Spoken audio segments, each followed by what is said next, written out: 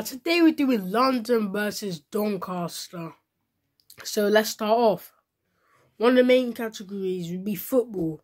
And obviously London will get the point for football. Right there, the point. Football because Donny football got Doncaster Rovers they're good, but we got Chelsea, Arsenal.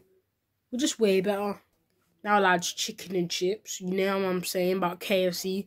In London, we have this thing called Morley's, and we have something called Perfect Fried, which is way better. So that we actually get the point to London. Now, lads, we're going to schools, and I think you know what we're gonna go for in schools. Obviously, Doncaster. Like we're just way better in schools. Like Doncaster, bruv.